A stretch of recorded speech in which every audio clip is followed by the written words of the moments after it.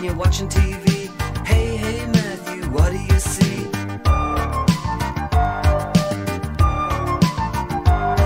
Do you see the tension in a rich man's house? Do you see the cow?